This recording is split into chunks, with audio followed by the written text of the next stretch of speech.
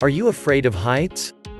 Being afraid of height, whether during a plane trip or escalating a mountain, is a serious problem that affects many persons and can have severe if not fatal repercussions on the respective person. The sickness is provoked by the lack of oxygen.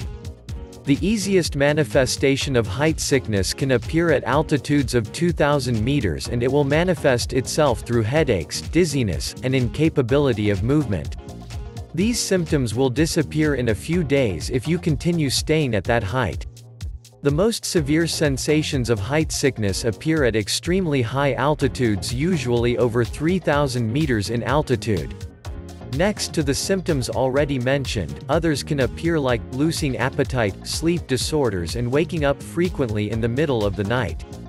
The difficulty that can be encountered when breathing, stomach sickness, temporary losses of memory, encountering difficulty when trying to concentrate are amongst the most common and severe symptoms that solicit an immediate change of altitude.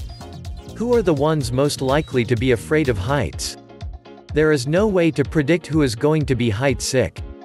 Surprisingly, older people, people with low physical activity and poor health are not more affected by the height sickness than other persons.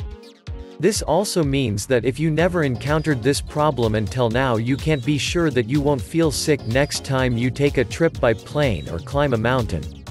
How can this be avoided?